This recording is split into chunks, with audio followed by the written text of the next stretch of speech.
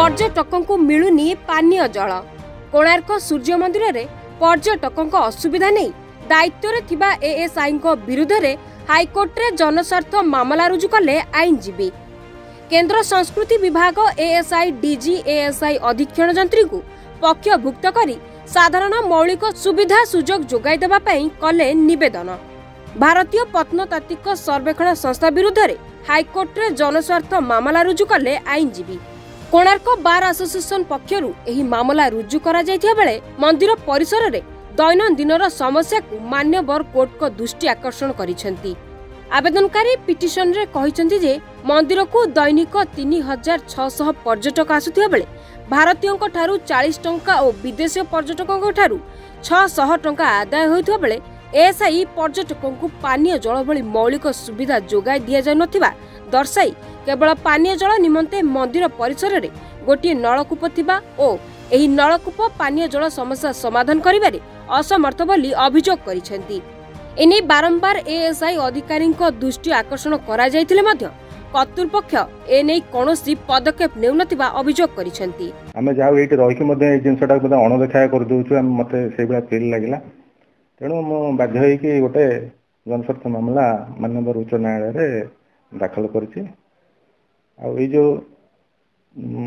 ministry of culture secretary ଏବଂ DG I ଏବଂ superintending archaeologist ASI ଏମାନଙ୍କ ପକ୍ଷ କରି ଏଇ ମାମଲାଟି ରୁଜୁ ହୋଇଛି ଯେଉଁ ନ୍ୟାସନାଲ କଞ୍ଜରଭେସନ ପଲିସି ଦୁଇ ହଜାର ଚଉଦରେ ଯେଉଁ ଆମର ଅଛି ଯେ ଯେକୌଣସି ମନୁମେଣ୍ଟରେ ସ୍ୱତନ୍ତ୍ର ବିଭାଗ ତା ଭିତରେ ସର୍ବନିମ୍ନ ସୁବିଧା ସୁଯୋଗ ମୌଳିକ ସୁବିଧା ଯେଉଁ ସବୁ ପାଣି ଆଉ ଛାୟା ବସିବା ପାଇଁ କିଛି ସୁବିଧା ସୁଯୋଗ ଏସବୁ ନିହାତି ଯୋଗାଇବା କଥା ସେମାନେ ସେଇଟାକୁ କରିନାହାନ୍ତି ଏପର୍ଯ୍ୟନ୍ତ ମଧ୍ୟ କରିନାହାନ୍ତି ତେଣୁ ଏହିସବୁ ଘଟଣାକୁ ଆମେ ଦୃଷ୍ଟି ଆକର୍ଷଣ ତାଙ୍କ ପାଇଁ କରୁଛୁ ଆଉ ଖରାଦିନେ ମଧ୍ୟ ଦେଖନ୍ତୁ ଆପଣ ଏଠି କୋଣାର୍କରେ ପାଖାପାଖି ପଇଁଚାଳିଶ ଡିଗ୍ରୀ ଉପରେ ସବୁବେଳେ ତାପମାତ୍ରା ରହୁଛି ଏଠି ମାନେ ଏଠି ପାଣି ପିଇବାକୁ ଯୋଉ ମାନେ ଗୋଟେ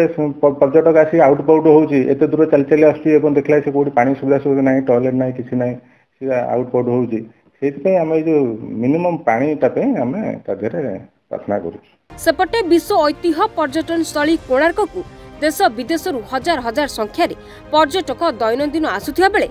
ଦାୟିତ୍ୱରେ ଏଏସ୍ଆଇ ଯେଉଁଭଳି ଭାବରେ ସୁବିଧା ସୁଯୋଗ ପର୍ଯ୍ୟଟକଙ୍କୁ ଯୋଗାଇ ଦେବା କଥା आखि दृशिया कौन पदक्षेप निया स्थानीय बासिंदा अभोग कर मंदिर परिसर में पापाई जो व्यवस्था अच्छी अति नगण्य बोली पर्यटक कहते पानी की यहाँ पर अच्छी व्यवस्था होनी चाहिए धूप और पानी बहुत तेजी से बढ़ता जा रहा है उस समय के साथ साथ पानी की व्यवस्था तो बिल्कुल नगण्य पानी डहल विकल अभिजोग देखो आर्कोलॉजिकल सर्वे ऑफ इंडिया इतना पैसा ले रही है रख रखाव के नाम पे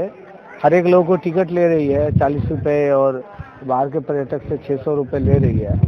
तो उस अकॉर्डिंगली जो है सुविधा थोड़ा बढ़ाना चाहिए मेरा मानना है जैसे छोटे बच्चे हैं तो उनका पानी वानी की भी व्यवस्था होना चाहिए गर्मी है तो थोड़ा वाटर कूलर का व्यवस्था हो जाए तो ज़्यादा अच्छा होगा सीनियर सिटीजन के लिए ये कहेंगे कि सीनियर सिटीजन और बच्चा लोग का तो जो कैटेगरी है वो एक ही है एक तरह से माना जाए तो सीनियर सिटीजन के लिए भी जो फैसिलिटीज फैसिलिटीज़ है उसको भी इम्प्रूव करने की ज़रूरत है मुझे लगा जब मैंने एंट्री की तो एक तो एंट्री पर पानी है और लेकिन बीच में मुझे कहीं पानी दिखा नहीं और शायद मुझे पता चला है कि आखिर में पानी है तो पानी के लिए मुझे ऐसा लगता है कि जगह जगह अगर कुछ जो है वो टैप लगा दिए जाए या कहीं पर ऐसा हो जाए कि मतलब बच्चे खासकर जो बच्चे होते हैं वो उनको पानी की ज़रूरत होती है महिलाएं होती हैं वो बच्चों को लादे घूम रही हैं इधर तो पानी तो एक बहुत बेसिक ज़रूरत है तो पानी का इंतज़ाम होना चाहिए दूसरी एक चीज़ मुझे ये लग रही है कि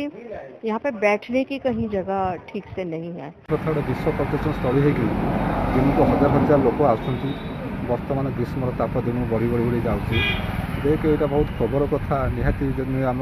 सारा ओडा जो सोलार व्टर प्रोजेक्ट चली तो निहाती मंदिर सफिसीय सोलार व्टर प्रोजेक्ट दरकार हो आ भी किसी दरकार होती कारण बहुत पर्यटन बहुत असंतोष व्यक्त କୋଣାର୍କକୁ ନେଇ ଅନେକ ସମୟରେ ଅନେକ ସଂଗଠନ ବିଭିନ୍ନ ଆପତ୍ତି ଅଭିଯୋଗ ଆଣୁଥିବା ବେଳେ ଏଏସ୍ଆଇଙ୍କ ବିରୁଦ୍ଧରେ ଜନସ୍ୱାର୍ଥ ମାମଲା ପରେ ପର୍ଯ୍ୟଟକଙ୍କୁ ସାଧାରଣ ମୌଳିକ ସୁବିଧା ସୁଯୋଗ ଯୋଗାଇ ଦେବା ପାଇଁ ତତ୍ପରତା ଦେଖାଇବ ବୋଲି ଆଶା କରାଯାଉଛି ଗୋପ୍ରୁ ଜୟନ୍ତ କୁମାର ସେଠୀଙ୍କ ରିପୋର୍ଟ ରିପୋର୍ଟର୍ସ ଟୁଡେ